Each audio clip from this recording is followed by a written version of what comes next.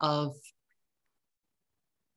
thank you, past international president and distinguished Toastmaster. Pat is a resident of Ontario, Canada, and has been a member of Toastmasters since 1983. She was the fifth woman to serve as international president of Toastmasters International and is currently serving as a region advisor. Pat is an ontological life coach and consultant in her own company, Pat Johnson and Associates, where she coaches groups and individuals who aspire to achieve more both personally and professionally. Pat is the author of the Handbook for Building and Sustaining Vibrant Toastmasters Programs in Corporations.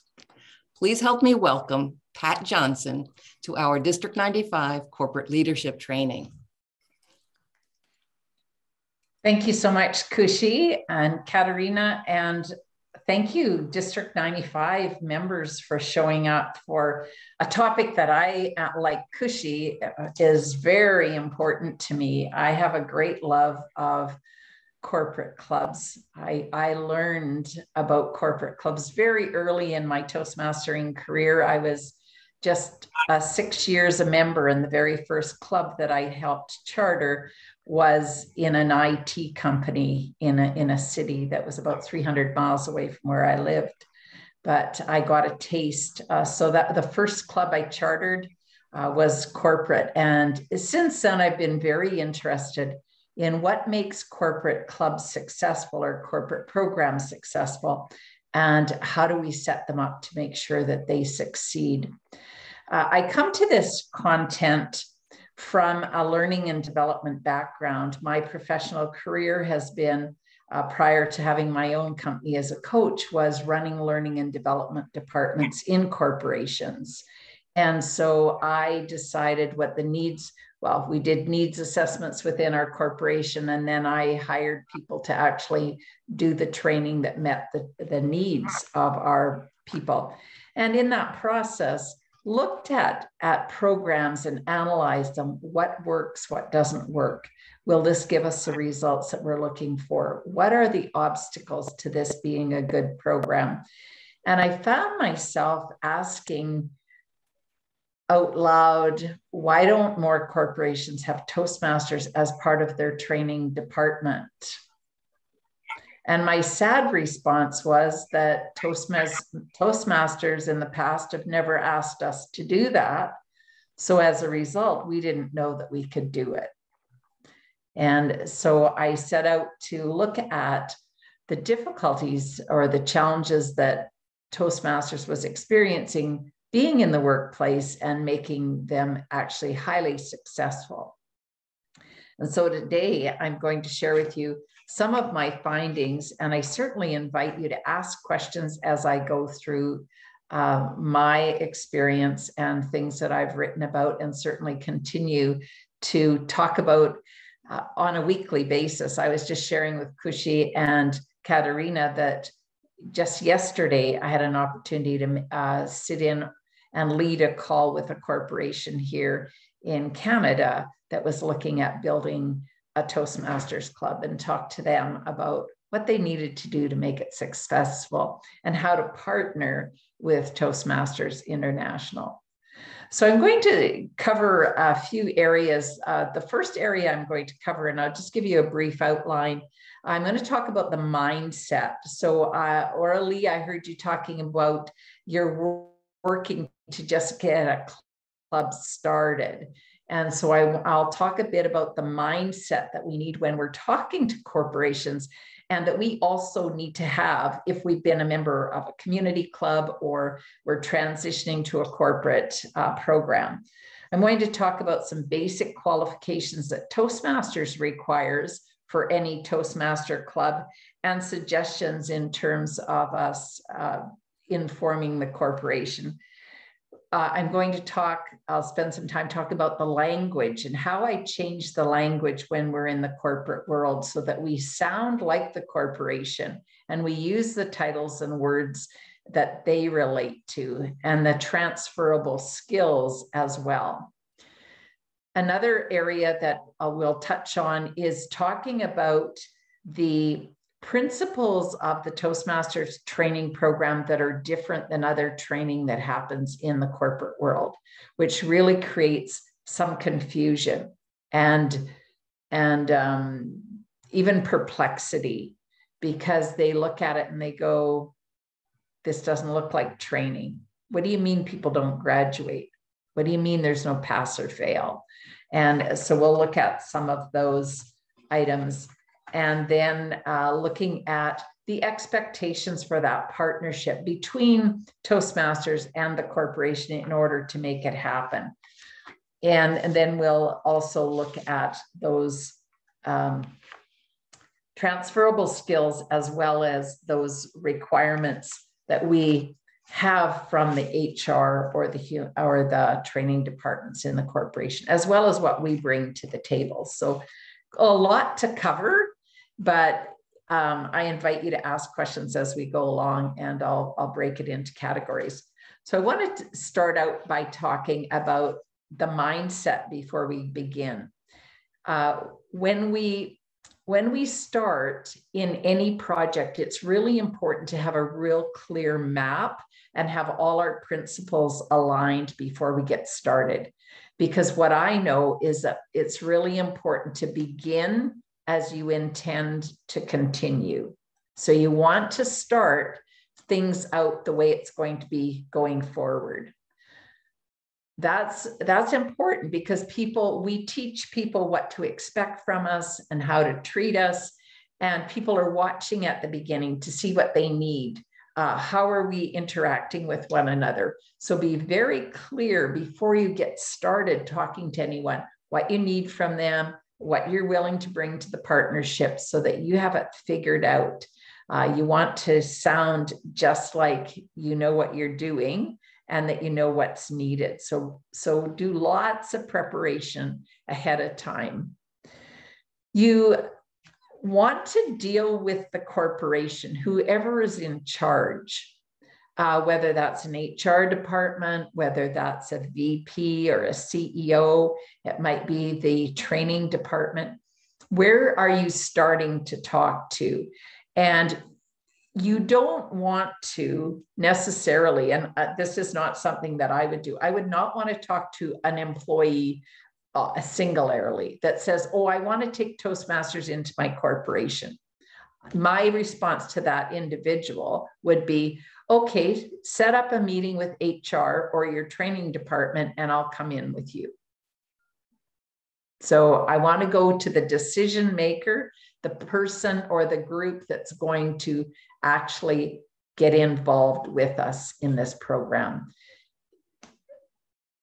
One person is not going to be able to do it unless they're in that department. So you want to make sure that you're dealing with the corporation, not an individual if you are um, supporting the club, I think it's really important as closely as we can to reflect the corporation. So, for example, I've been into many corporations that are really young, vibrant. There's they're full of 20, 25 year olds. And I go, I'm not the person that should have been sent in there because they don't relate to me.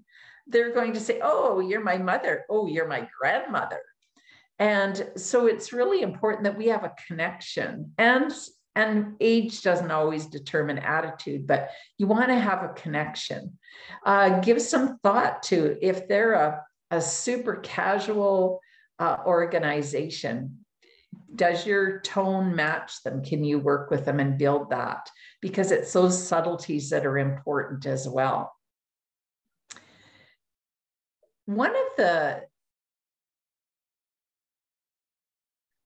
oh, I don't know what the phrase is. One, I'll just say things. That's not very descriptive. But one of the things that I've noticed so when people go in to talk about the Toastmasters program to someone else, and they're actually hoping to establish a Toastmasters program or club, is that they make apologies or they have difficulty talking about how much it costs or how much time it takes. I feel that it's absolutely critical that if you're doing the enrollment or the sales of this idea, that you get clean um, energetically around this. I hope you understand that word. But if you got hangups about money and you have difficulty asking people for money, don't be the person that's going in to ask for the money. Have somebody like me that says, ah, it'll be whatever it's going to be. I'm not afraid to ask for money because within me, I know the value and the life changing value of the Toastmasters program. So these are all things to keep in mind before you even go in want to make sure that you can explain the program and the value of it and you're just totally not um, energetically connected to the money it's just a vehicle for them to access the material really important attitude also when you're meeting with the corporation is you want to establish a partnership with them you want to find out what they already have in place, how they recruit members for their training, how they enroll people in their any training programs they have, how do they track their training? Because we don't have to do this. We're not in the business of doing this. Toastmasters is not going to do this for the corporation when we partner with them. They're going to do it if we set it up as a partnership. So we want to find out how we're going to partner. One of the first questions that I ask any corporation is Are you paying for your members' tuition? Are you giving them time during work hours to attend the training? And the other question I ask is how do you pay, how do they get other training in your corporation? So for example if they're going to project management or conflict resolution or soft skills training do you pay for that? And do you send them during work hours? Great. Then toastmasters would be the same. So i'm always aiming to put it in the calendar during the work days and that the tuition is paid by the organization particularly if they're doing it for other training. Now, a lot of corporations will share the responsibility with, with their employees, and they'll say you can either take the time or take the tuition, but you have to bring one or the other to the partnership. And that's okay too. So, but we have to find out how they run their training so we can figure out uh, how the Toastmaster curriculum will fit into their environment one of the things that we've learned is not to uh, ever apologize uh, for the time that it'll take. Like I ask employers to hold Toastmaster meetings for one hour every week. I'm flat on that because I'm convinced that in order to practice and build a skill that is about experiential learning that we learn by doing, the value of our program is that people practice all the time. And if you're practicing our meeting once a month or every two weeks, and you've got 30 people in your group, how many minutes every two weeks is somebody getting if they get to speak, either as an evaluator or table topics? They might get two minutes every two weeks. That's not a lot of time to practice a skill. So I'm very um, emphatic about weekly meetings when it's in corporations because of the building skills part of it, because they're also going to measure our results. And the program needs uh, program time to actually produce results. When I meet with corporations, I really keep my, my personal stories out of it. Uh, I found this when I was going out with different club growth directors years ago and going to corporations is that they all wanted to tell the corporation how Toastmasters changed their life, how they met their best friends, that this is their community, their tribe. And honestly, the corporation doesn't care. They care about the transferable skills. They care about the bottom line and training their employees. So really make, and I think this that the, those stories are very relevant when you're working in a community to build a community club because that's what people relate to, but not in the CEO's office or in the HR department. They want to know what's the bottom line. because they're all reporting to someone else and having to repeat it. So be clear on that. And then handle objections. If they've got objections or they've got questions, don't feel that those are threatening.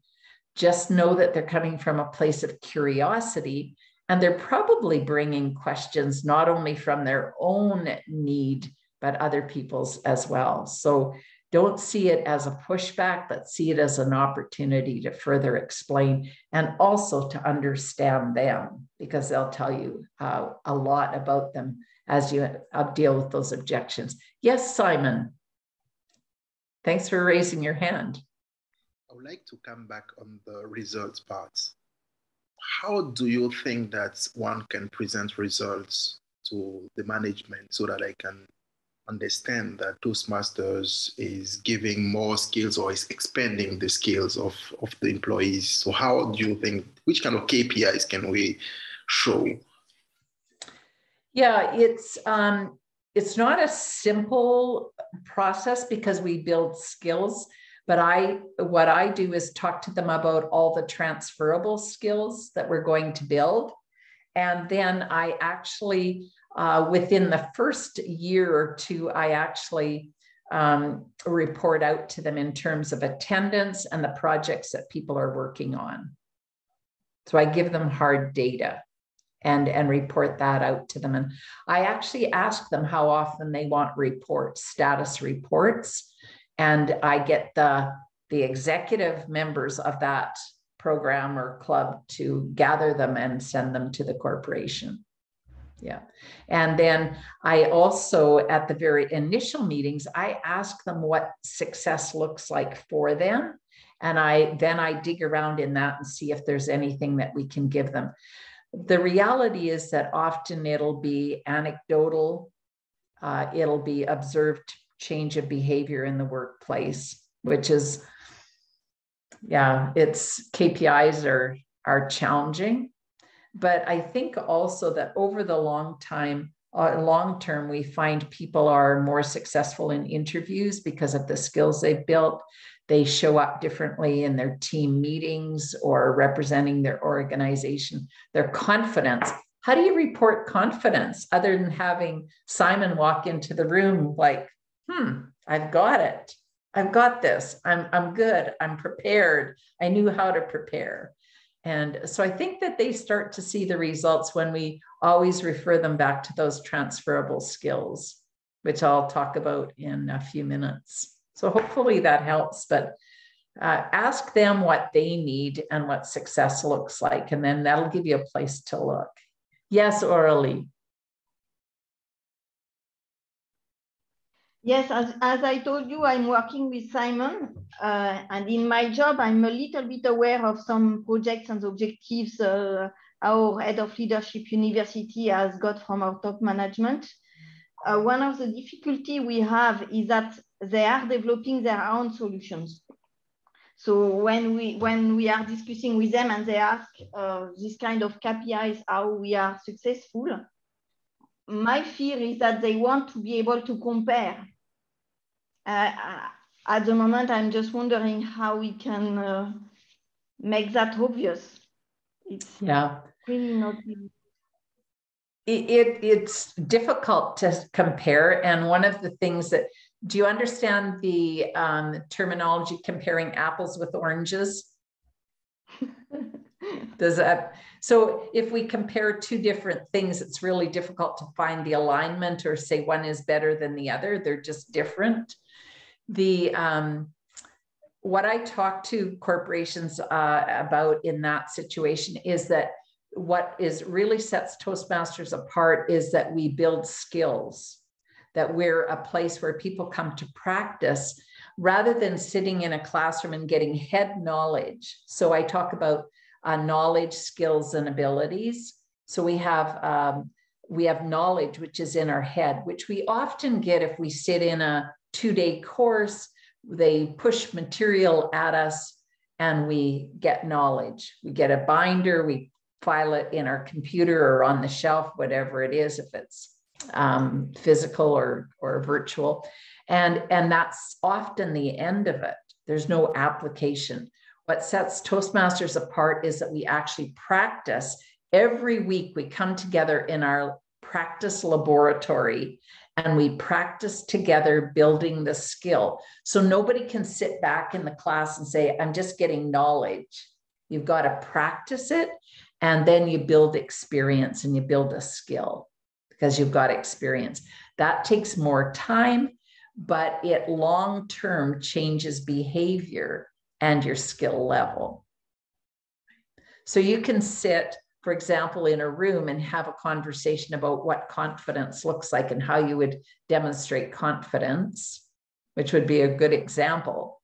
On the other hand, you could build confidence. And I think that it would look different. Somebody who's had successes, got good feedback, is feeling good about themselves, and shows up confidently versus, I know what confidence looks like. I hope I'm making it. So I would really focus on the uh, the thing that makes Toastmasters different. different is it's experiential, it's ongoing practice every week, and over time we build the skills, which is very unusual for organizations to do. Does that help? it, it's hard to compare when they want to look at um, a deliverable but there's no but when, if they in fact went and followed up from training that took place and saw whether it was applied and changed behavior versus looking at with the toastmasters program and the changed behavior that would be over time that would be the test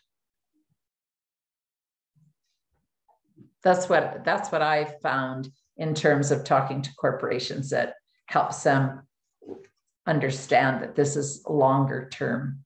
Yeah. Uh, Simon? I don't want to stop you. If you still have some time, I can ask you another question. Sure. So the, the question is regarding the membership fees. If the company decides to take that over, it could be that uh, it could scale crazily. I mean, if you're talking about a big operation with a lot of employees, so that can get out of proportion maybe for the for the. And second thing is, how do you then prevent abuse? That some some uh, members will they will not care because they know that the company pays for their membership, so they just don't come or they are not taking that seriously. So how do you tackle that? So the two, two part of the question. The first question is how do you kind of limit the, the scale of it so that it, the company doesn't freak out uh, looking at the bill? And the second thing, how do you prevent abuse? Well, this thank you for that. Those two questions. The first one, and I'll talk about this more in detail, but the first question uh, as answer for from my perspective is that I ask them how many people they want in the program. So they're determining how many people they're bringing into the program because we're not flying the doors open and letting everybody rush in. We're saying to them, how many people do you want to put in this training? So this is the partnership with them. So they're sending the people. We're not bringing them in. We're not, uh, they determine what they're willing to spend on it. We tell them how much it costs per person. They've got a budget and also what is manageable from our perspective when we go in. How long do they want are they allowing people to stay within the program? Because some organizations say, well, we'll support our employees for two years. And after that, they can pay their own tuition. Um, we'll pay for two years. So there's some uh, things that go on there uh, for them. Uh, in terms people taking advantage, this is, again is another partnership um, relationship with the organization. And this is about how do they track their other training and how do they track attendance to training? And how did they actually hold people accountable within their organization? Because they all have programs already that do this, they already have the systems. All we want to do is put Toastmasters in the system that already exists. So some some organizations have report cards, some organizations have performance review plans, some organizations have annual reviews. Uh, so each employee meets with their supervisors. That's where we hold people accountable. They hold their people accountable for attending the program that they're paying them to go to. So we leave that to them, but we tell them that they're doing that and we'll provide the data. We'll provide the attendance, how many prepared speeches uh, Kushi did, how many um, how many um, roles that uh, Katharina held during the meetings that she went to and an attendance requirement. So I asked my employees when I was in the corporate world, I asked my employees to attend a minimum of 80% of all Toastmaster meetings, and they were held for that. Now, that also was an agreement with me as the supervisor that I would make sure that they were free to go, that I wouldn't say, oh, I've got an all important meeting that you have to go to, because I already had an agreement with them that they went to Toastmasters during that time. So we, we give it over to them. So this is, if you've been involved with a club that hasn't been set up this way, there's a lot of paradigm shifts that we're talking about. We're talking about us, uh, the Toastmasters not driving the bus. We're putting, we're bringing the curriculum, we're bringing pathways in on an on a platform online, and we're going to guide their setup and support them in getting it set up internally to them in their corporation. And they're going to hold that accountable and measure that how they measure everything else in their environment we need to find that out and support the, their processes. Yeah. Thanks, Simon. Orly, we'll do this one and then I'll move on because some of this is going to be talked about later. Yeah. Uh, you're muted, Orly, sorry. I don't know if I can uh, add a few comments on that. We are quite, uh, with Simon asking a lot of questions based on our experience. Um, but uh, some questions we had to give you examples, of some reaction, and I'm a little bit involved in the process uh, of uh, training catalog in, in Airbus, etc. So I know a little bit how it works, but we had some questions, for example, uh, what is the difference between a guest and a member? And if they can uh, send a lot of guests and minimize the number of members per club. This is one question we, we had, for example. And another question we had, or another remark we had, which I was a little bit disturbed by that, is that it was a it was there was a comparison with a gym club, which is for me was a clear indicator that they didn't understand that it was a, a training solution we were offering. Yeah, yeah. This is often uh, a result of us not asking time during the work hours and they think it's an extracurricular activity. And i'm saying no this is training. This is mainstream training to be inserted into your training calendar through your training department. And so this is this is skills training to build people's careers and and and uh, skills. So i'm i'm pretty um, adamant about that, and I go back and uh, back and back to that over and over again. And I I do not um, I do not propose in a corporation that they allow guests versus members. They're already paying for people to participate in our program. And guests, if they come, they're just taking all the precious practice time away from the people who've already made a commitment if the corporation is recruiting people and sending people to that training, they've got advertisements out like they have for every other program in their organization. They've got wait lists for training programs and they uh, can let those people in when, when they have an intake period. So I don't suggest that people can join whenever they want. I would suggest in a corporation that they have an intake period. So you might say, given that we have six months renewal, we might every six months, if they've lost five members, that they could bring five up to eight new members, members, not guests, members into the club from the wait list that they have.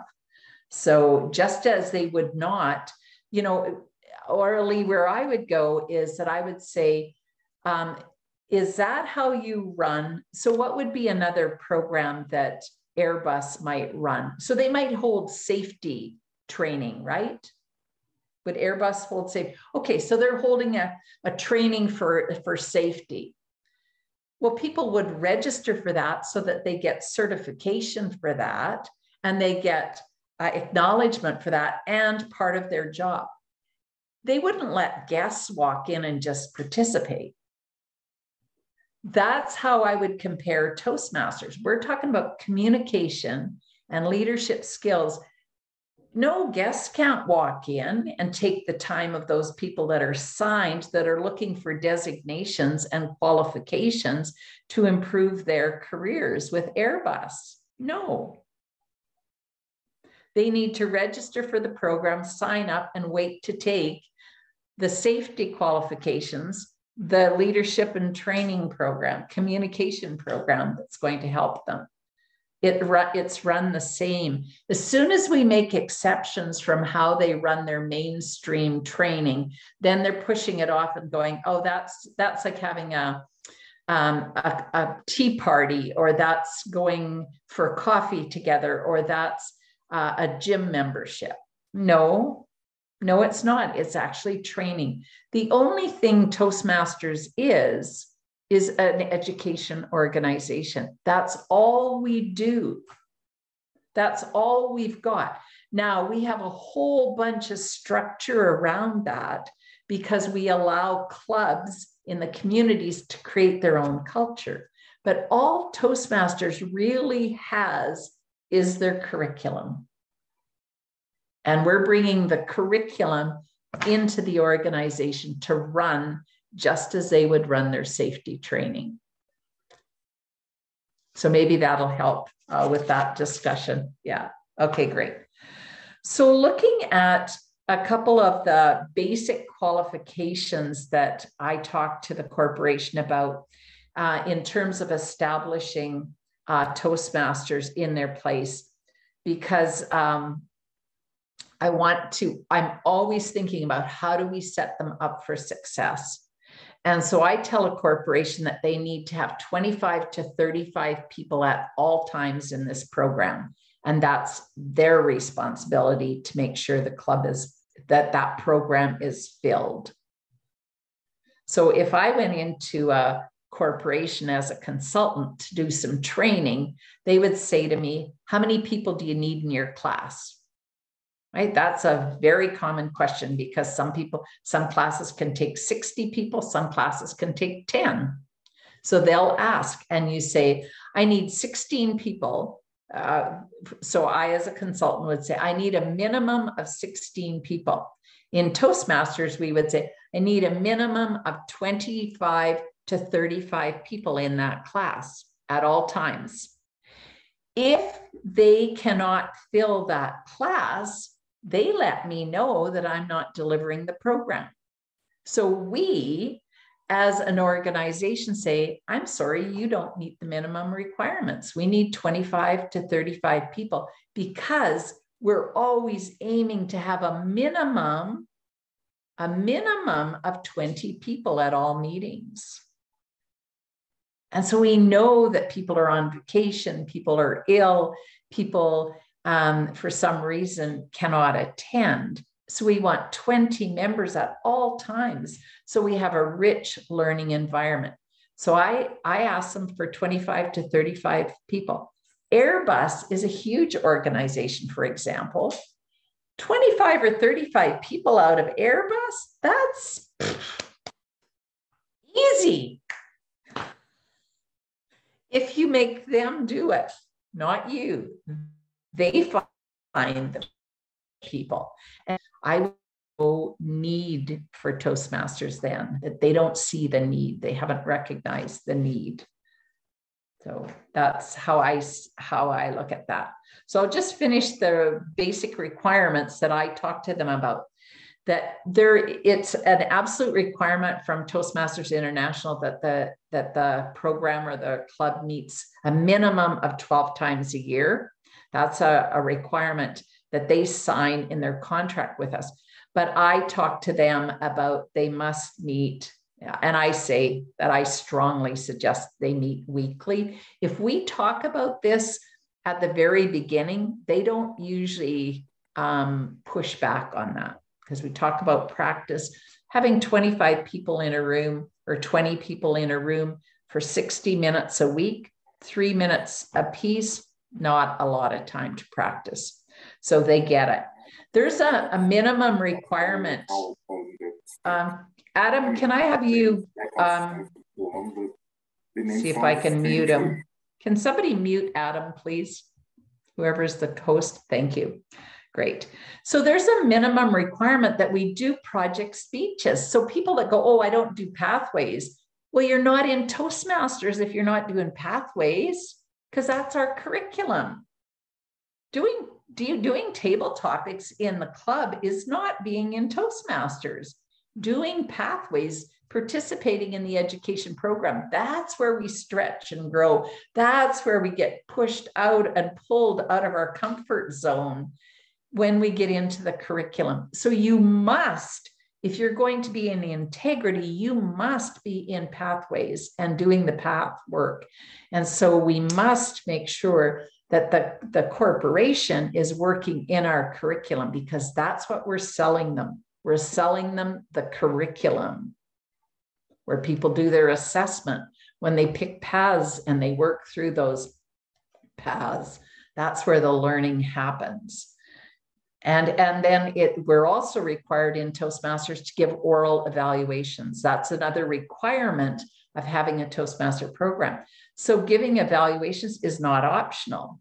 We have to give oral evaluations. There has to be someone that stands up and gives that vocal evaluation at every meeting. So think when the when it is that you we don't have meetings where there's no man, um, project speeches because it says we have to have project speeches and oral evaluations at every meeting. So these clubs that meet and do table topics and don't do presentations are out of integrity with the program. So again, we have to begin and plant the seeds that we want to grow. So really important to, to um, do that.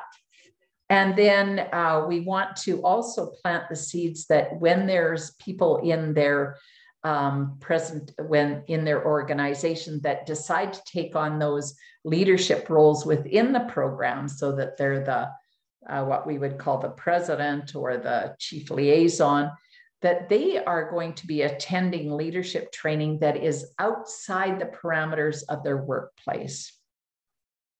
Just as you're here tonight, outside of your workplace, they will be attending as leaders training outside of their workplace.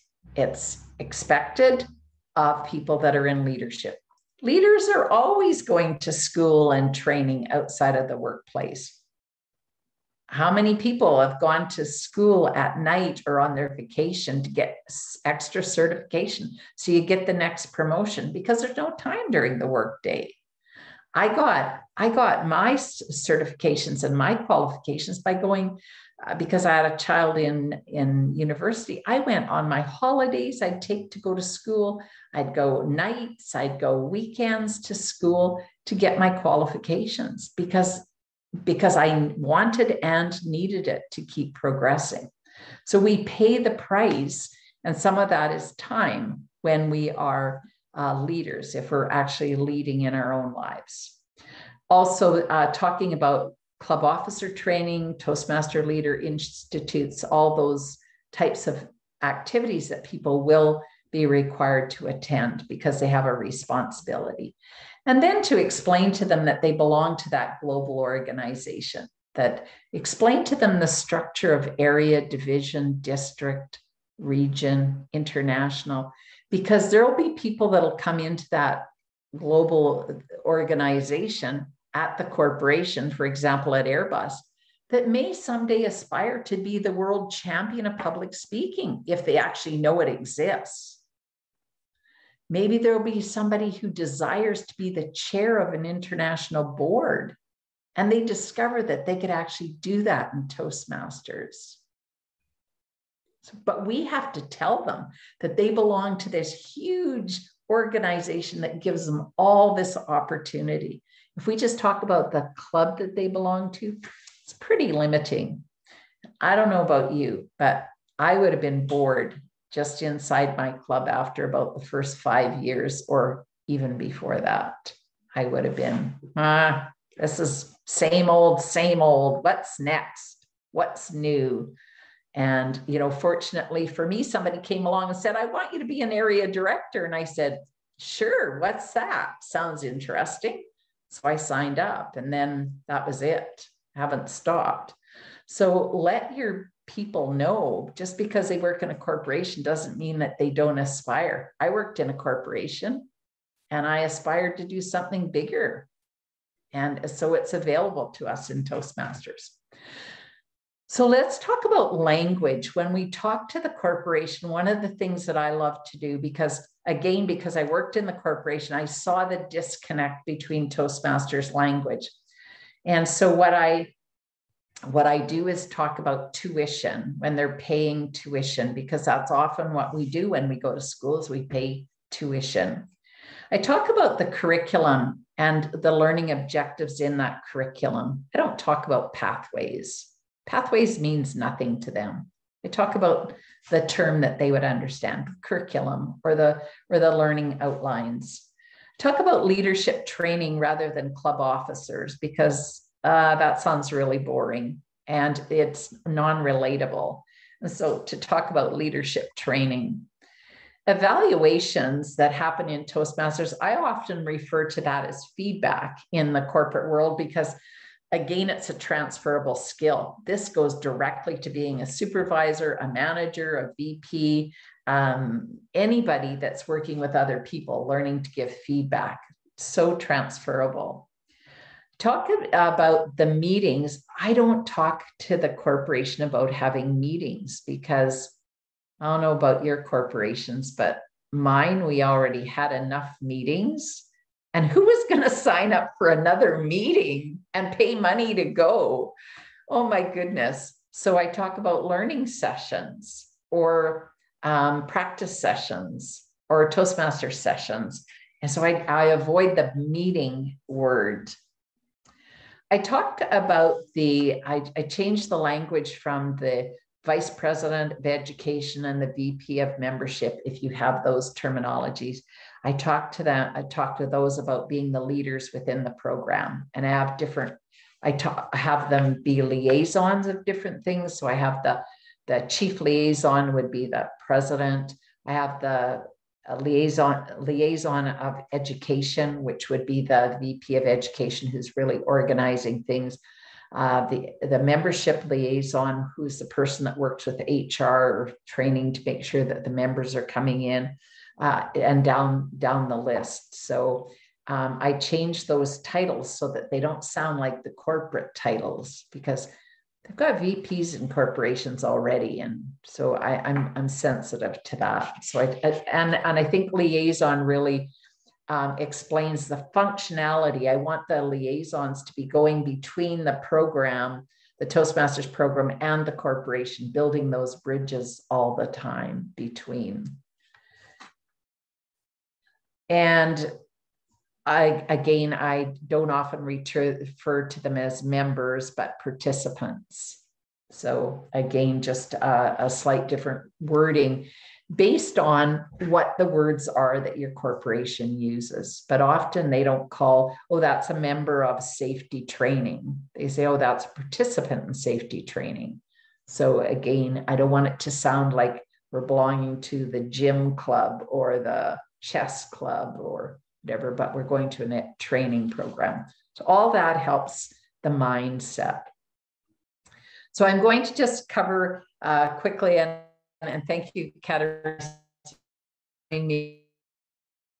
I'm going to just cover some um, basic principles to share with the corporation in starting and maintaining that. And then I think we're going to take a 10 minute break, right, Katarina? Okay, great. Okay, so a, uh, some principles that I want to share because this these are different and unusual for corporations when we're talking about training. And this is back to some of what we were talking about um, earlier in terms of questions. We need to explain to them that Toastmasters is a self-paced program, that it's going to go as fast as Pat wants for Pat, and it's going to go as slowly as Olga wants it or needs it to go for Olga, and the same for Harold, etc. Everybody's going to go at their own pace, although they're going to be encouraged to keep pace and actually move, but you're going to be able to set your own pace. That's important because we all start in different places. So I started as absolute terrified to speak. My big challenge when I joined Toastmasters was actually walking into a room where there were people. Never mind talking or never mind giving feedback, but just being around people was what scared me. So I was way slower than other people getting started. And that's what we need to do is remember what we were like when we started and know that the people are going to go at their own pace while we're going to encourage them to have some pace as well.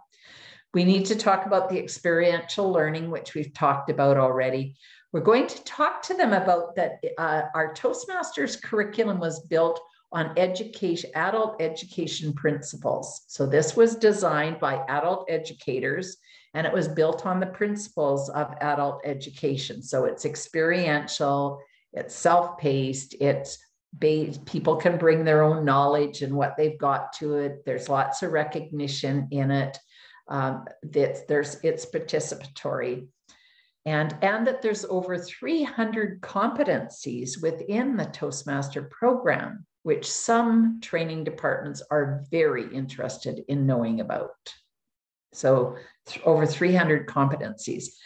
We work in a team environment and we learn in a team environment. Again, this is very foreign in um, often to corporate training. We think of sitting there and on our own going through stuff, listening to a lecturer or a teacher, and and then leaving. But in here, we participate in a team environment. We need to assure them that the course materials are provided, which we do, and that the, there's learning objectives in each of the projects. So they want to know that. That the evaluation criteria is specified so that we're going to get, teach people how to evaluate in different ways because there's different criteria we need to assure them that there's local and international support available for the program.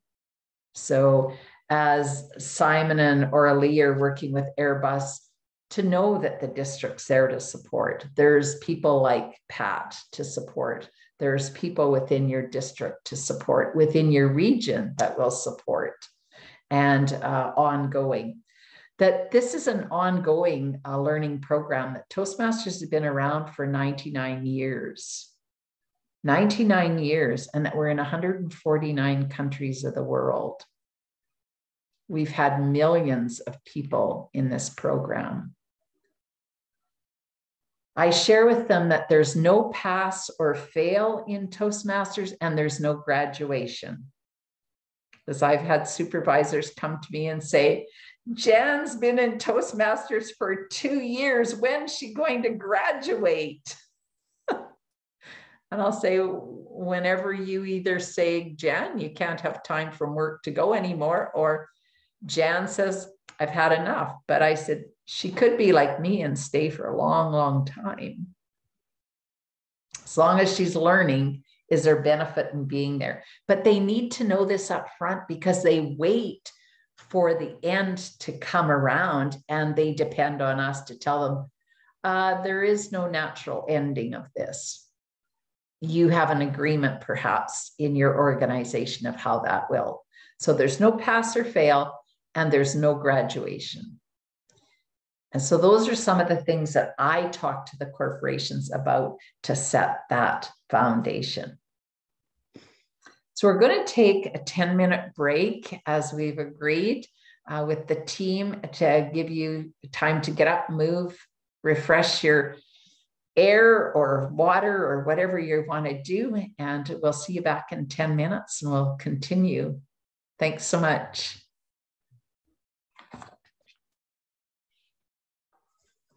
Well, I hope everybody had a nice break. I got totally sucked into my email. So I was going to get up and move, but maybe after. uh, what do they say? So little time and so many email. Yeah. So I wanted to talk about uh, transferable skills now. And this is one of the areas that I really uh, spend time talking to corporations. And whenever I start talking about transferable skills, I find that they get their pen out and start writing things down because this is this is the application. And this is often where they're going to look for changes in people and what's transpiring in the room. So, first of all, because Toastmasters is communication and leadership, I look at communication as listening skills, thinking skills, um, asking good questions, and then uh, speaking skills. So, uh, very important parts of that to, break down communication. So, uh, the critical listening skills for a moment are I found that listening skills were something that I couldn't find training for when I ran training departments. And yet I felt that people were very poor listeners. They didn't process information, they didn't listen carefully, they couldn't listen critically. And we actually teach that people sort through stuff. They'll find the main point. They'll listen for the opening the body the conclusion. What was the purpose? Like we train people to listen very carefully. We hear grammatical errors. We hear those filler words those audible pauses all of those things that train us to be good listeners over time. Uh, almost impossible to buy but we can buy it in toastmasters that training. Accountability is one of those skills that we train in in it. Think of when you're the toastmaster of the meeting or the chair of the meeting and you're gathering everybody together and you're scheduling. Or we ask people to go on or whatever tool you use to schedule and people go on and actually schedule themselves and then they show up because they're required to or they've said to the team they'll do it. That's teaching accountability so that's a really important skill that goes into the workplace and life in general. We do a lot of management skills, like we do a lot of administration, we do paperwork, we do timelines, deadlines, etc. I don't spend a lot of time on that, but definitely uh, we track performance and uh, so and we build plans so i talk about teamwork the teamwork in terms of working together, that out of our group comes a, a, group of leaders that chair us and bring us together. The things that we do, we succeed and we fail together in, in this program because while we build our separate skills, we have a program that we run and we're working towards those measurable, our own club's KPIs, which are uh, designated in the uh, district or the successful club plan. Uh, critical thinking, thinking skills. We train um, thinking skills because of our attached to our listening skills, but we can become analytical, better analysis and our thinking skills, in that we hear things and we're curious about them. So we have listen to a lot of speeches, we listen to a lot of evaluations, and we give feedback on those. And so, in order to do that, we have to critically think, listen critically, and uh, and think critically to go. Oh, well, here's how it could improve. So we're basically holding a standard here and measuring this behavior against that standard, which creates that critical thinking. Um, we build presentation skills. So, both formal presentation skills, which I like to think of as when we get up at work and we do a formal presentation or a status of our project, or um, we go to the CEO to present a project to them, uh, versus that impromptu presentations where we're asked to participate during a meeting or we meet somebody in the hallway that's new or we're you know, whatever the situation might be, those more impromptu situations. Both those type of skills are different, but we also teach them and they're very valuable. We teach organizational skills in terms of organizing those teams, getting ourselves organized, setting goals for ourselves, and actually working to achieve those and, ha- and building paths to, to actually get there and happening. Our uh, club success plan is like a mini strategic planning exercise.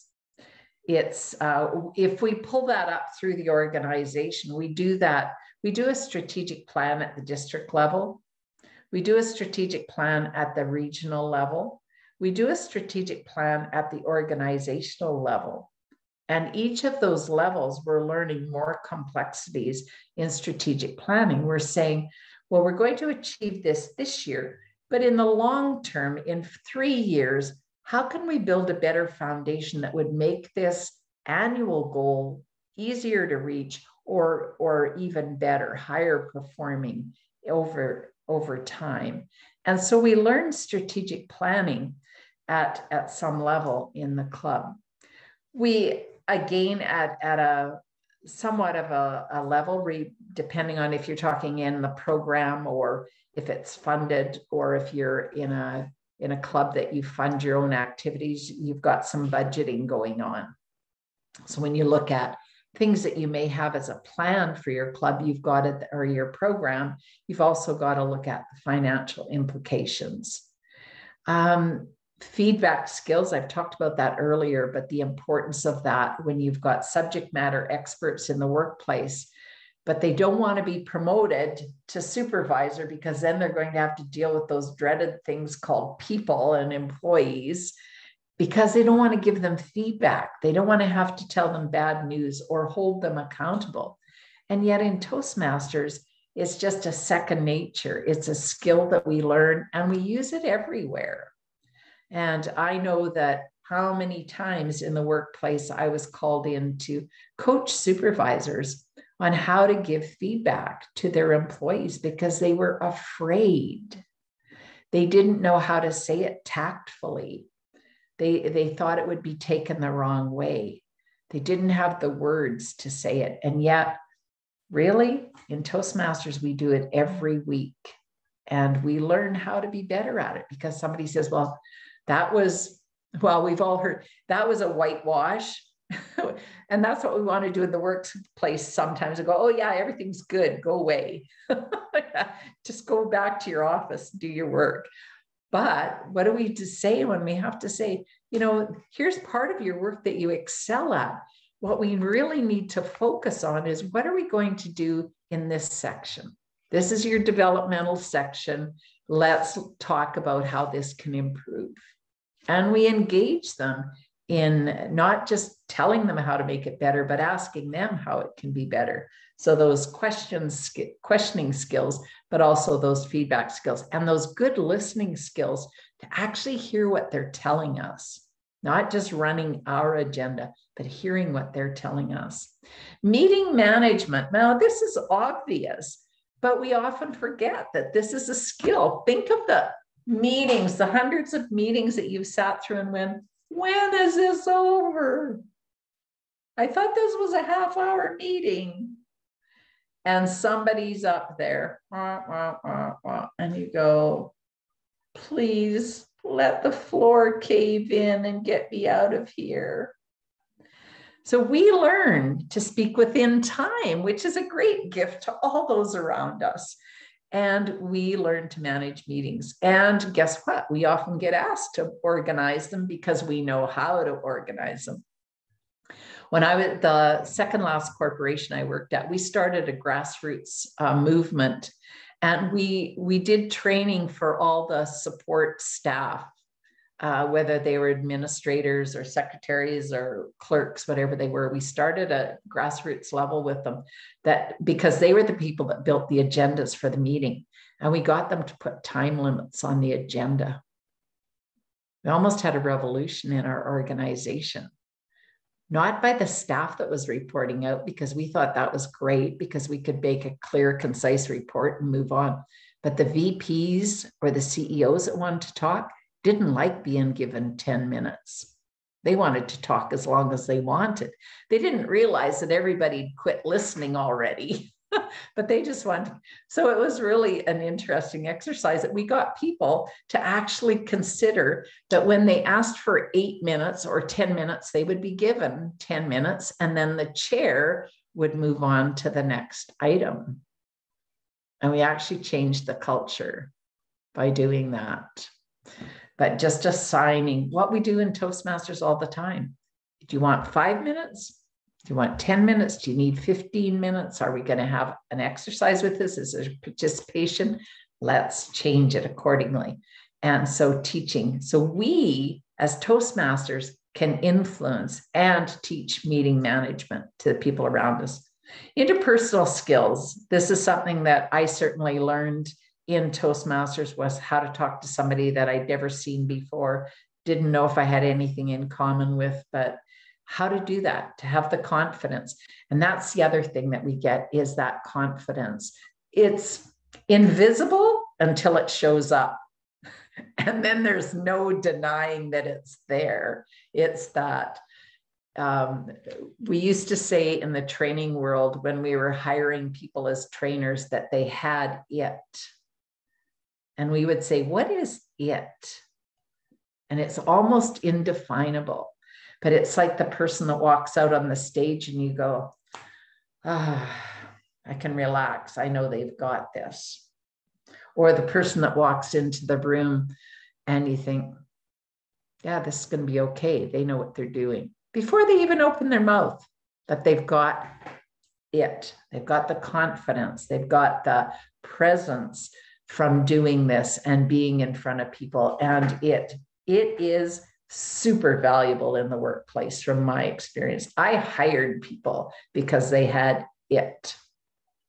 There was no room on the hiring sheet for it, but it measured a lot. So we we give that confidence and help people build it. We learn uh, some public relations and promotion. We learn to ask difficult questions. I found that my writing skills increased dramatically as a result of becoming a better speaker because I learned to edit better. So writing skills improved. I realized that I needed an opening body conclusion to each paragraph, each thought that I had, just as I did in my speech. And I learned to take out the superfluous stuff and organize it better. So my writing skills increased. And then mentoring, which we often don't talk about in the workplace, but happens all the time, formally and informally. We mentor people. New people come to work for us. They say, Oh, Harold will show you the ropes. Well, that's immediately a mentoring relationship. Or Adam will help you out with that. Ask Adam if you need help. They're setting up a mentoring relationship to some extent. At, at how I would define mentoring is like you're apprenticing with me for a period of time. It could be a day, it could be a week, it could be a year, uh, it could be many years. But formal and informal mentoring is something that we're very comfortable with. And then the whole emotional intelligence that's never spoken in our curriculum, but that we do a lot in emotional development, emotional um, intelligence development. Just think of how we listen to people and we have compassion for their stories. We overcome their obstacles or their challenges in Toastmasters. This is where people come, whether it's to develop, develop stronger speaking skills, whether it's to overcome a, a speech impediment, whether it's to overcome that social awkwardness. We have empathy, we have time, we support them, or uh, whatever it is. People come with their needs uh, to Toastmasters. And so we build that supportive, uh, environment, which is really about emotional intelligence. So, really, a lot of transferable skills that just add value to the program if we translate it into that. So, I want to switch uh, pace now for a moment and uh, talk about things that we require, and this will harken back to things we talked about earlier things that we require from the HR, the training department of the corporation. And I like to have this, this a conversation with them, probably about the second, depends on how it goes, but about the second conversation I have with them uh, about how we're going to work together going forward. So I give them that broad overview to begin with that we talked about in the beginning. But then this is kind of the second phase is communication to their staff. So how do they intend to communicate the Toastmasters program out to their staff? And what I know in all my years is that if I'm selling, if I'm selling chocolate cake, I do not leave it to somebody who has never eaten, never tasted, never baked a chocolate cake to sell the benefits of my chocolate cake. I'm the one that has to give the unique uh, approach to my chocolate cake. So, in other words, do not expect HR to know how to advertise Toastmasters we need to give them that. They don't know the transferable skills that we just talked about. They don't know the um, the special skills and knowledge. They don't know how it works. They don't know why why people would want to join. They probably don't even know anybody that's experienced it. We can't expect them. We need to support them with words, stories, anecdotes so that they can promote that the Toastmaster program. And there's lots of material to do that. We need to suggest that if they have orientation for new employees, that the Toastmaster program could be part of that new orientation for employees. It's a great exposure. They could do something verbal or have uh, one of the Toastmaster members or, or participants come and present or they could actually uh, just put material in the new hire package saying this is a benefit we offer our employees on site. If you want, if you're interested, come see our HR department. So there's a number of ways that we can put it in front of people right away by working with the corporation. Make sure that it's put in the training catalog or the training calendar if that's how it is. Put it on the intranet to make sure that it looks like the other training, that it looks like the safety training, that it looks like the project management training. It's a training program. And look at how do they actually provide material to the supervisors and managers so that they know why they would send their employees. Like if I'm an employee and I go to my supervisor and I say, I want to go to Toastmasters. And they go, Well, let me see what we have to do. What's that all about? Can I support that? And they can't find information. So we have to help the corporation figure out how they get that information, or at least ask them how they're giving that information to their supervisors and managers. Which brings me to a just a side side step here for a moment when I go to do an information session for a corporation, some people call it demo meeting, but I do it as an information session. I ask the corporation, who are they inviting to their information session? Why is that important? I want to know whether they're inviting their thousand employees or are they bringing all their supervisors and managers to find out about it? And I have a bias. My preference, if they say, well, we could do either one, which you would you want? I say, I want your supervisors and managers. Because they're the people that are going to stand between the employees and the Toastmasters learning program. They're going, no, you can't have that much time. No, we're not paying for that for you. No, you're not doing a good enough, you're not a good enough communicator in your job. Why would I send you to a communication course? So I want supervisor managers to experience the Toastmasters program. And in the demo or in the information meeting, or some call it demo meeting, but information meeting, I actually get them to do table topics. I actually get them to do the evaluation of the speaker that I bring in. So they do the Toastmaster program so they understand what it feels like. So I, I try to do everything I can to inform uh, the organization of how this is going to work.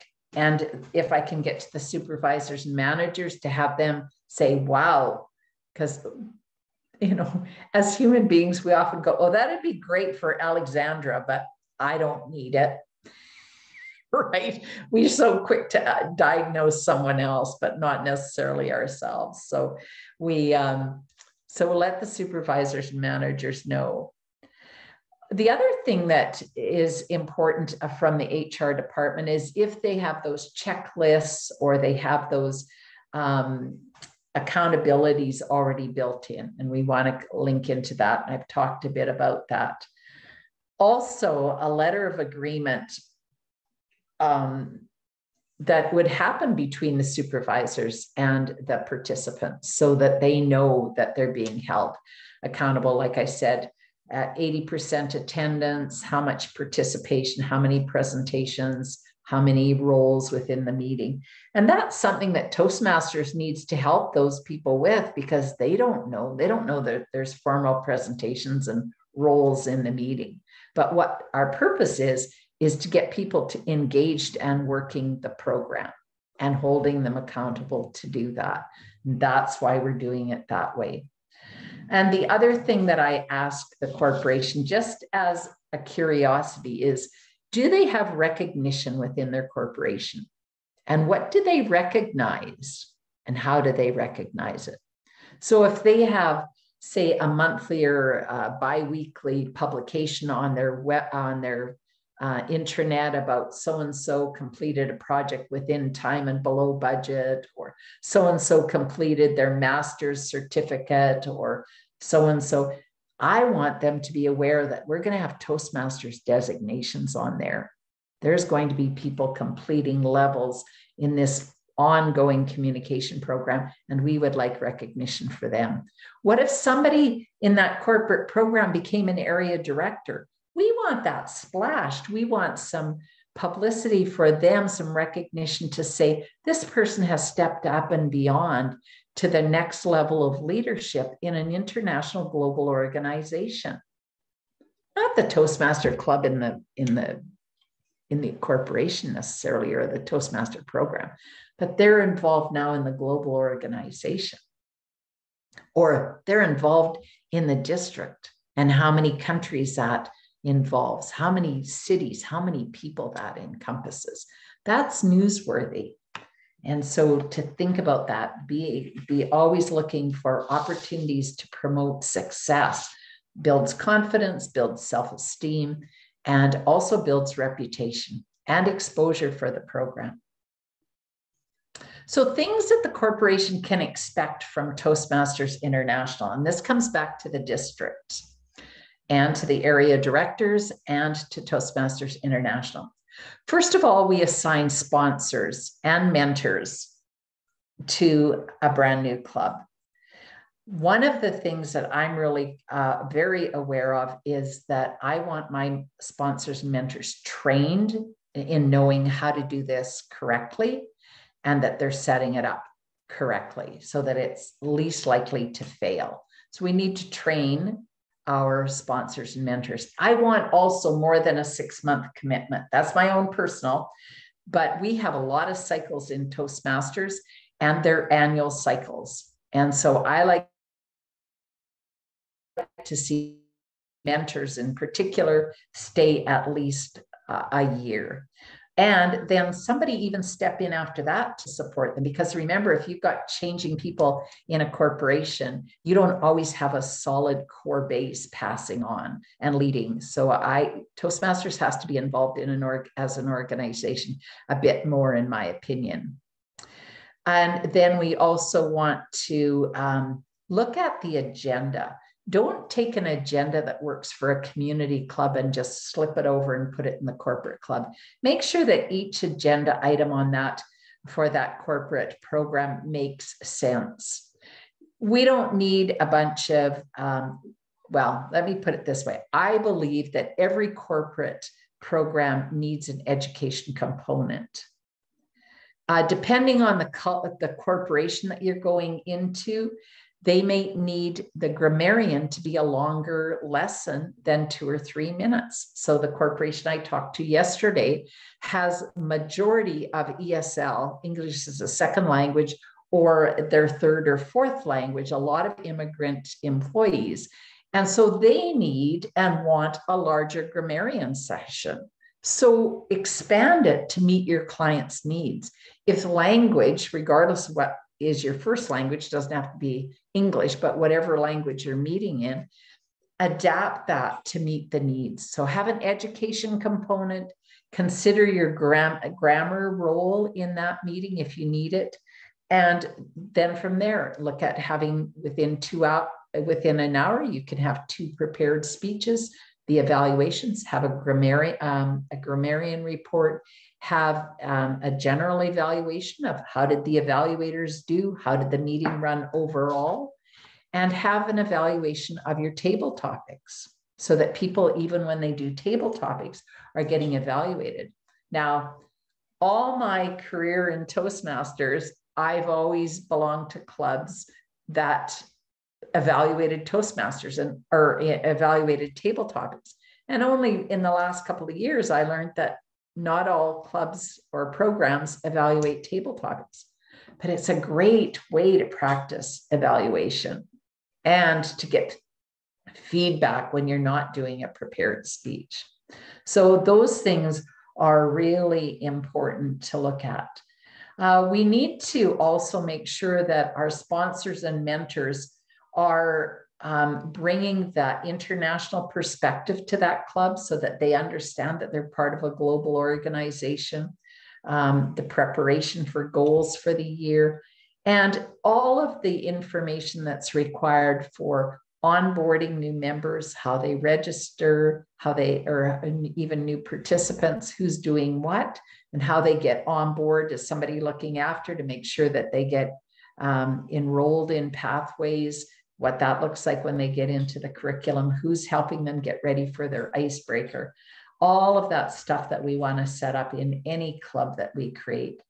And then looking around and saying, are we looking after our members? Because every six months, they're going to decide, well, every week actually, they decide, but really consider it every six months if they're coming back again. And they're going to look at what did I learn in the last six months? Is this worth my time? Or am I going to go and take that other training over there? Because we, I don't know, but I've always got a list of things that I'm going to do. And so I go, okay, does Toastmasters still at the top of the list? Yep. Okay. Uh, but sometimes maybe not.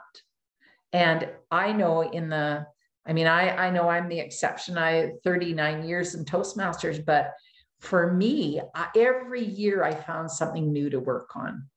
Uh, some years I was totally bored giving speeches. I could hardly stand to listen to another speech contest. I wouldn't go to a speech contest. But I found then I really needed to work on my evaluation because that was really demanding at work. Or I needed to really, um, I really needed to work on giving tough messages. And so I would practice in my environment of, of how do I give tough feedback? And I go to sessions about that. I learned in certainly in Toastmasters that I had to have the skills of resolving conflict. And I didn't learn that in Toast. I, I mean, I became aware of that in Toastmasters, but I then went and took a two year certificate program on dealing with conflict because I was so conflict adverse and I brought it back to Toastmasters. And I practiced it in my club before I took it to my workplace because I was super clumsy with it. But my Toastmaster club helped me. So I morphed my practicing laboratory into what I needed it to be in my continuous lifelong learning. And uh, just as I've taken many courses and wanted to try the material out, I would bring it to my Toastmasters club in, in the terms of a seven minute presentation, and they'd go, Oh, that was interesting. Tell us more. Or that was enough of that. And uh, so I, I used them for all kinds of ways of learning and continuing to learn. Yeah. So I'm going to stop talking. I think I've covered most of the content that I wanted to cover, and we're going to look at at questions that we have because um, want to make sure we've answered your questions also. So um, Aurelie, some questions I hope can be answered tonight. How do we how do we recover a bad start? Is that still a question? Uh, yes, when I read your book and you started as well with that, we should start uh, as we want to go along. Yes. But uh, you know, we are doing this uh, coach training now. We have started some in Airbus, some clubs who in some other country have started much before us in Germany. Yes. And there was several mistakes done. Like I told you yesterday, there was this question about member and guests. I don't think we have answered that bad, especially Simon. I thought he was a good answer. He was answering the question. But anyway, you know, I'm wondering how we got from our mistakes to recover the situation. Yeah, I, I love it. Thank you, Aurelie. I love that question. It's a tough question. Uh, it's really knowing your culture. But what I would do is that it's really hard to work backwards. So we can only work forwards and, and, moving forward. So, what I would do is suggest to the people that you're working with now in building a new way just say that you know over time we've learned that to build more successful toastmaster clubs or programs with more robustness and better sustainability that we do things a bit differently and so i'd like to propose that we look at building this next learning program that a different way and see if they're open to that.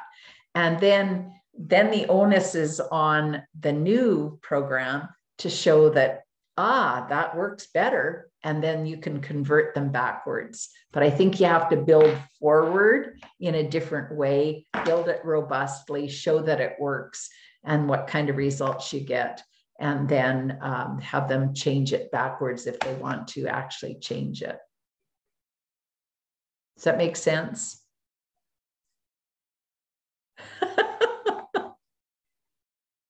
we'll try. We'll try our best with that. Maybe another question, if I may. Um, you were saying uh, if you don't feel confident enough or good to uh, sell or to speak yes. about budget, etc., you should not be the one speaking.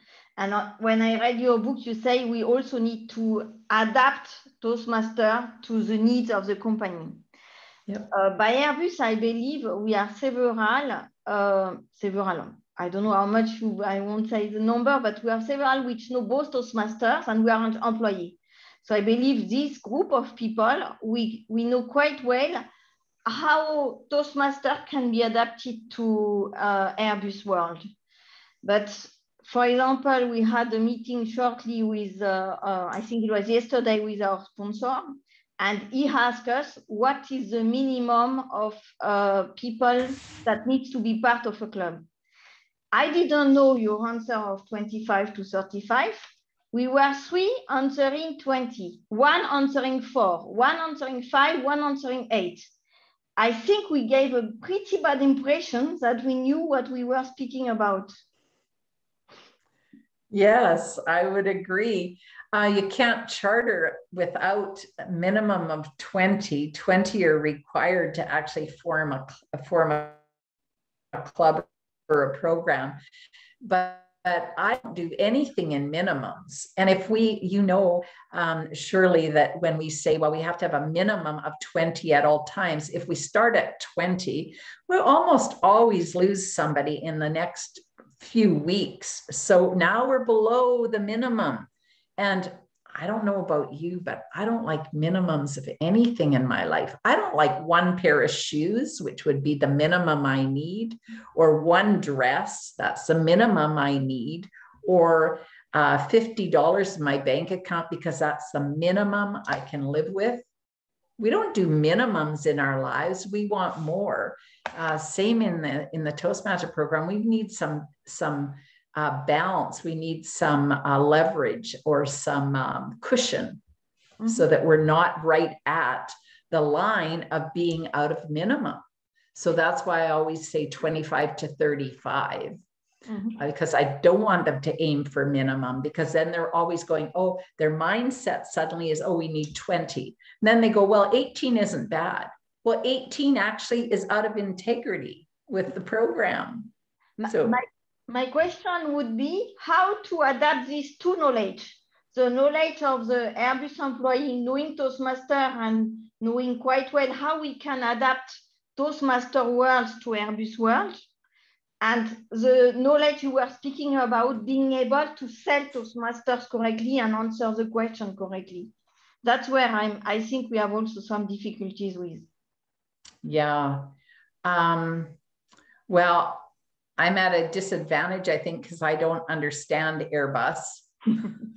so um, I, I would look at, um, yeah, I, I would, I, I would just ask them lots of questions if I'm, and, and then translate it in my, in my head, like what, how does that relate to Toastmasters? And I'm not sure I'm understanding your question totally. So I'm having difficulty answering it. Yeah.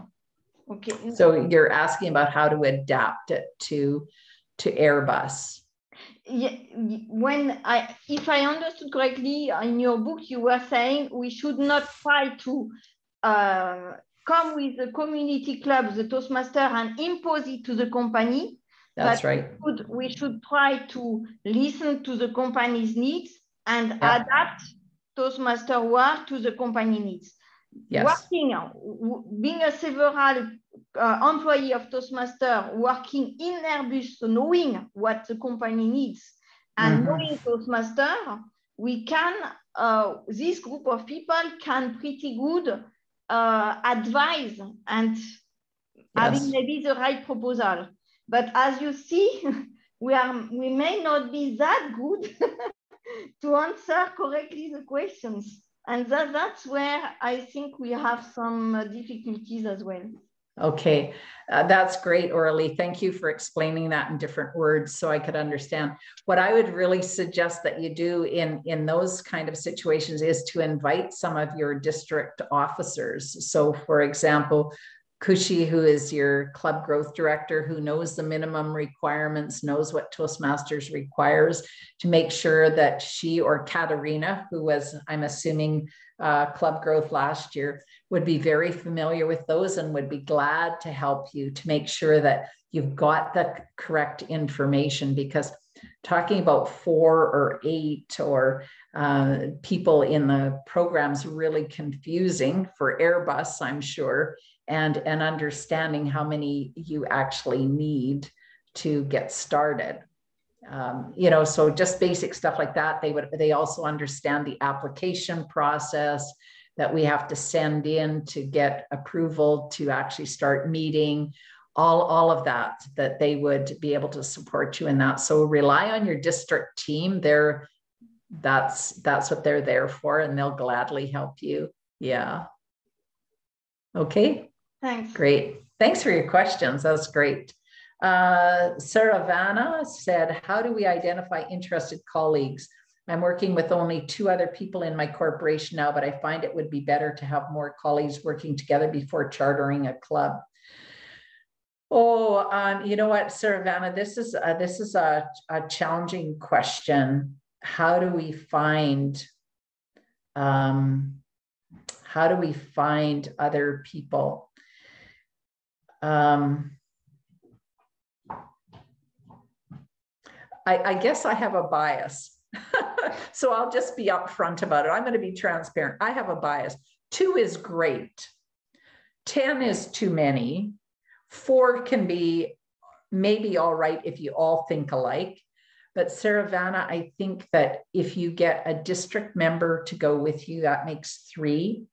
They'll have the knowledge. I think you're best set not to take a not to take a crowd because you're actually promoting it to the corporation and you're not going to run it. They are. So i would say it's ideal if you've got two if you've got two other people with you that's three and you take kushi or katrina with you i think it's perfect So don't go looking for any more. Let the corporation find the people that want to come to the training, but go and enroll the corporation in your concept. Absolutely. Uh, yeah. Start thinking of who you can talk to in the corporation. Sure, definitely. Thank you. Yeah. Okay.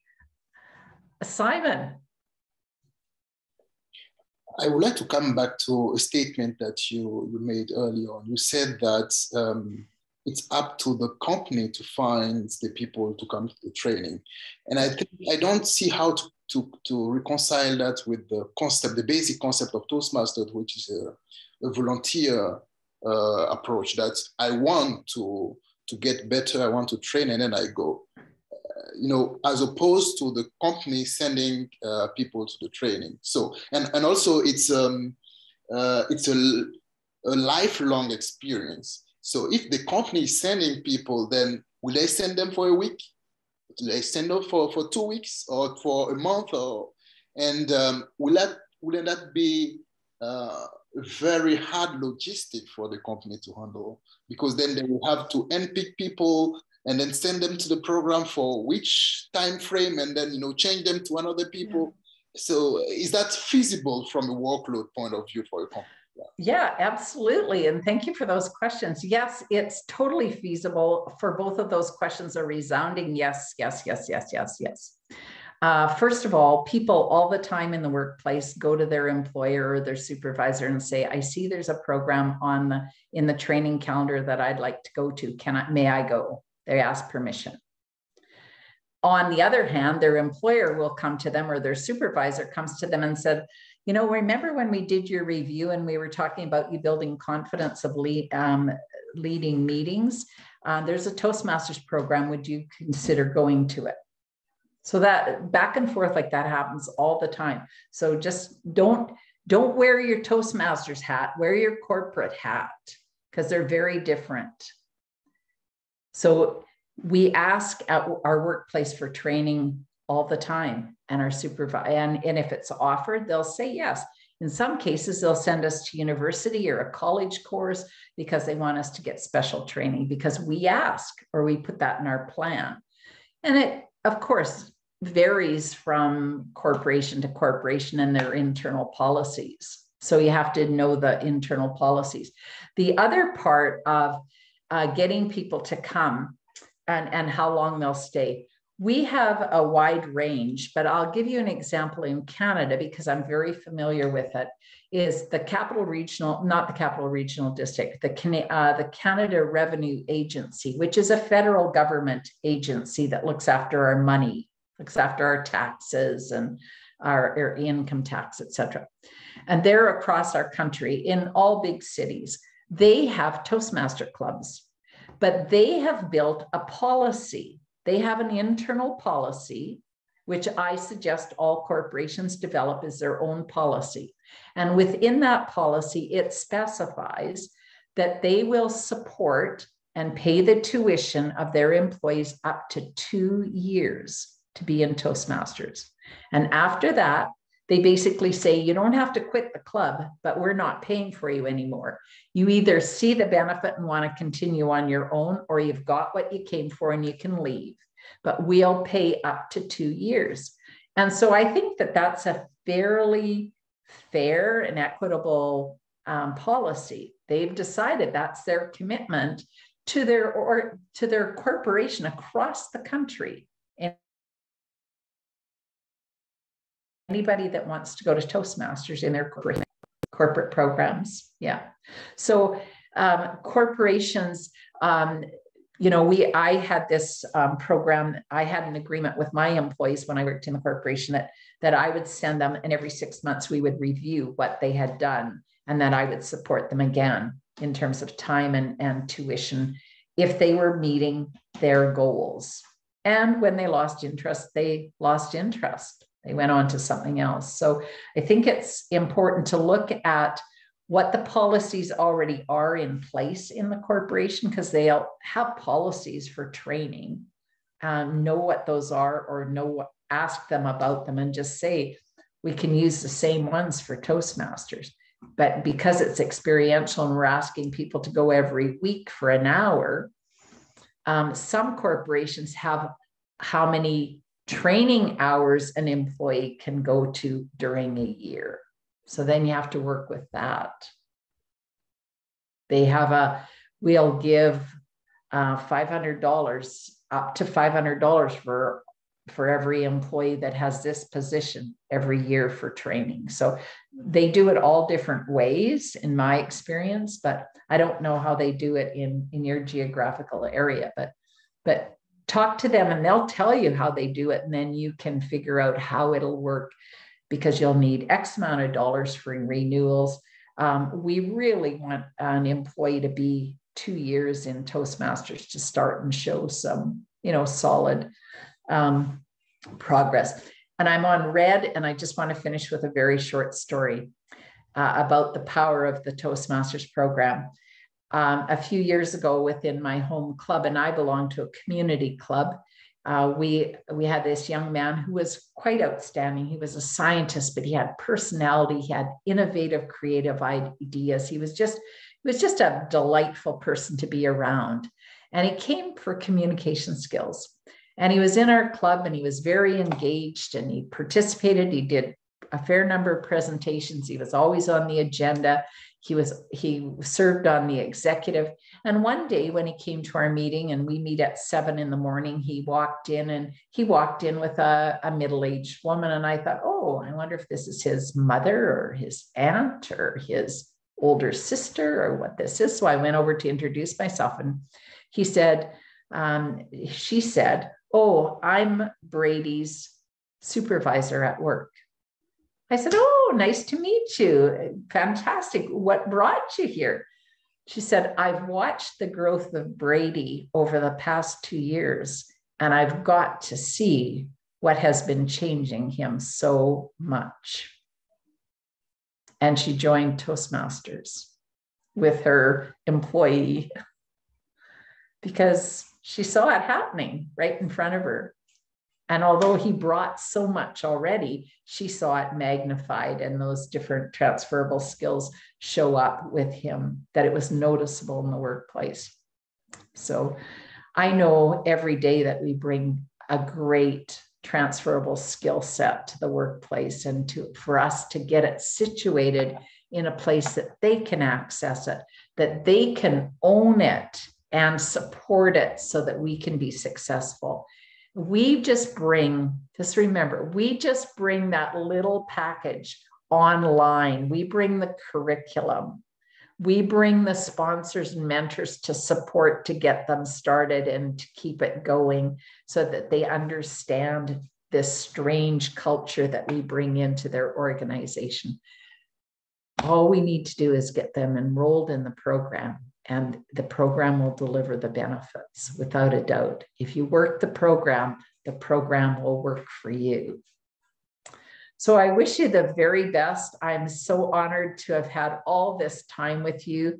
Thank you for showing up, uh, staying, and thank you to Kushi and Katarina for inviting me. It was my honor to uh, visit again to District 95, which is um, part of a region that's very close and special to my heart.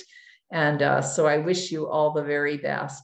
And Saravana, we want we'll be tracking you in that new club. and certainly Airbus will be seeing how that transpires as well. So thank you so much. And over to you, Kushi. Thank you. Thank you, Pat we are definitely interested in forming strong clubs, not a lot of clubs. So I'd like that idea of the 25 to 35 is our baseline um, because that means strength within a club.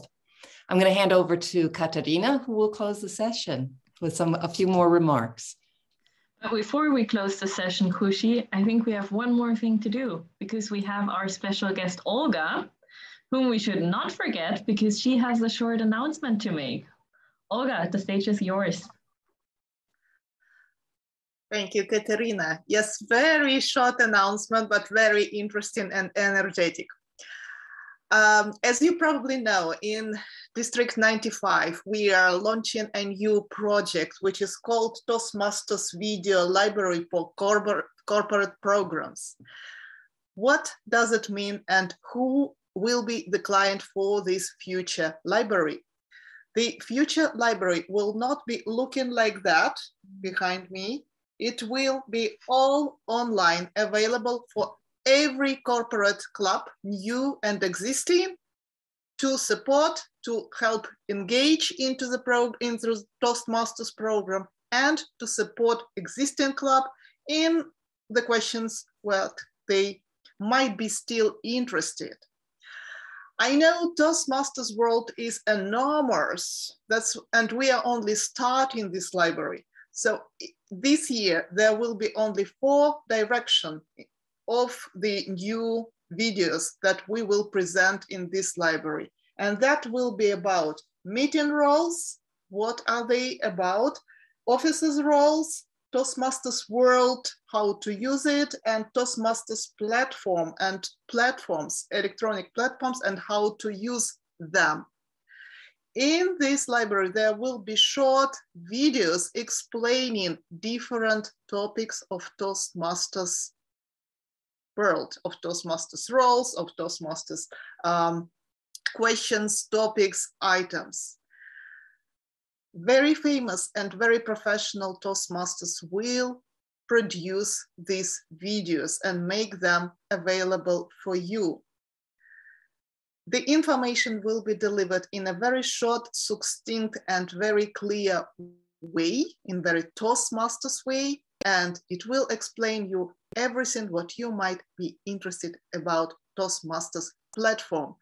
Please follow our project and I hope that will be will bring success to you. Thank you very much. Thank you, Olga. We are very much looking forward to this video and hopefully all of our corporate programs will use them. For now, we have finished our leadership trainings though, and because that was the fourth out of four sessions. And I'm really happy to see, if I'm not mistaken, all of you have been to a session before so that you actually receive your credit for participating in this training. And there is one person that I want to specifically highlight because this person was at all four trainings.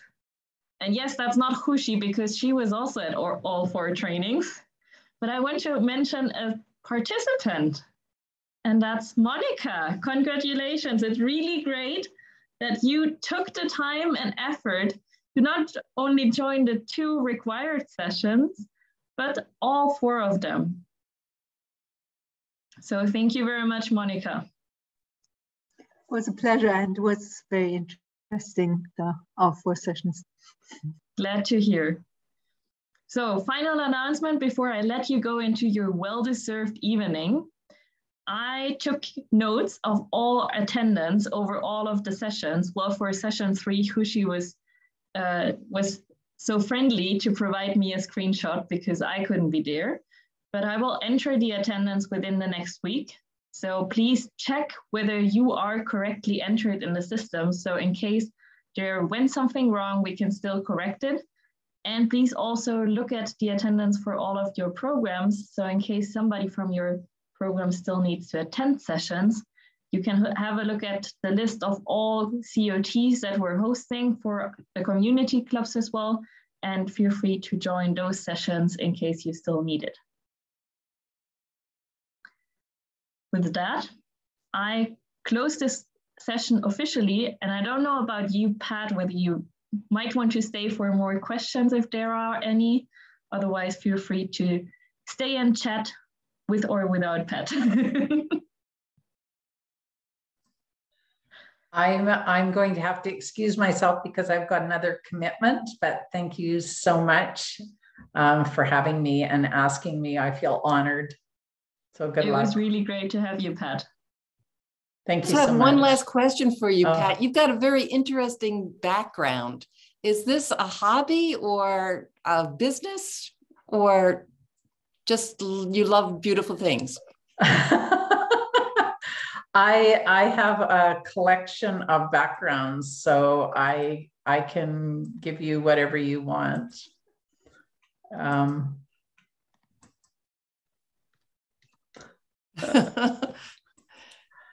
depending on the mood. I hope to see Nashville up there at some point.